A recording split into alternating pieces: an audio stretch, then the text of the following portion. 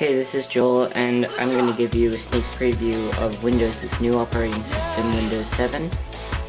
Um, the reason that they decided to make it is because they've had so many complaints with Windows Vista, and you know, people just don't like it, so they've decided to make a whole new operating system and just completely erase the old one.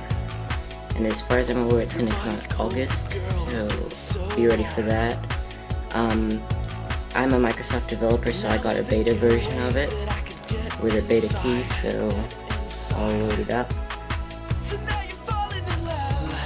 So this is the new, it's called Windows 7, I've got the Ultimate version, it's, um, it looks very Vista-like, it is actually Vista-like, but it's a lot easier and simpler to use. But as I said, this is the beta, so it's got a whole bunch of like, problems with it glitches and stuff. The first thing you'll probably notice is that the taskbar at the bottom is a lot different. It's fully customizable so you can drag and drop any applications that you want onto it. So, you know, if you want to drag something out, and also it's got this pop-up menu so you can click, it's kind of like Macish, it's got kind of like a sidebar, I mean a dock kind of feel, and the, um, this start menu is very much similar, but it's a lot bigger, like it's thicker. And when you search, it's not a lot nicer because you don't have to find it in this tiny little space. The whole thing, just type in whatever, and the whole thing pops up as a search window. So that's really nice. The sidebar as well, instead of having them as a dot, like a sidebar on the side of the screen, they're just widgets, so they just float on the screen. So, let me just move one around. They also have a new Windows Media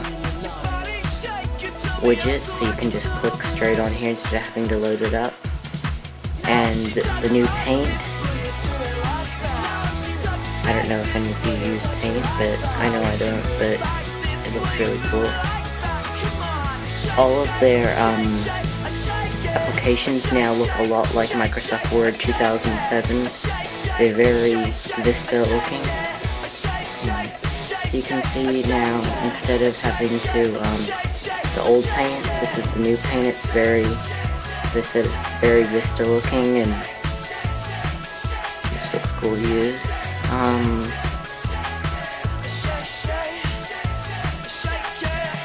exit out. And the other thing about it too, the windows on it, if you drag them, like if you drag it up to the top, it would it would um, highlight it like kind of bluish, and then you just let go and it automatically makes it full screen. Kind of neat. Um, as you can see, I do not have Windows Vista Aero. I do not have enough RAM on this computer to support it, but everything would be glass looking if I did. Doesn't really have much because I just installed it, but um, show you the new Windows Media Center. load up here. There we go. So, talking about all this, it looks a lot similar, but everything just seems to be moved around, I think. Uh, it's just because I'm running the beta, it shows this whole customer experience thing. Okay, so you can see that if I zoom out, it's a lot like it's got more room on it, and the um, icons are different.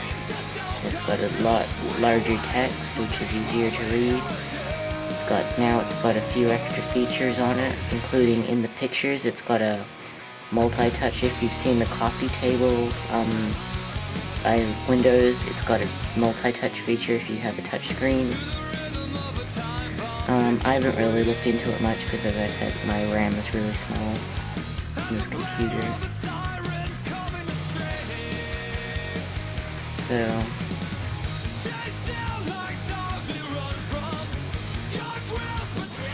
and also to show you the Explorer window on here. You can also, by the way, um, change your background just by clicking new background or next background. You can create like a slideshow background on this computer. And also it's got screen resolution gadgets and personalize in the um, right click, so it's much easier to see. I don't know, but like I changed my screen resolution a lot, so it's a lot easier. So let's just do personalize. You can see the new, um, it's kind of bluer and um, the icons are a lot, um, here I showed you before about the slide thing. You can, and the personalization is a lot easier to do, just down the bottom you can see your background and you can choose a whole bunch of like slides and you can make your own themes. Your Windows color, which is like what the sidebar would be if it's glass, but I can't hologram. Um, your sounds, and your screensaver. And it looks, this is all about the same. All in all, it's a very, it's a lot similar to um, Vista, but as I said, it's a lot simpler and easier to use. I actually prefer Windows Vista at this point in time, and also for anybody who has the beta, when you install it, if you run Windows Media Center and it searches for all your music, your music will be deleted. Just a glitch in the... So you have to download a, um, it's on a website somewhere, I don't know, but you can just look it up. I saw it on a YouTube video, that somebody did it, so just um, some information on that.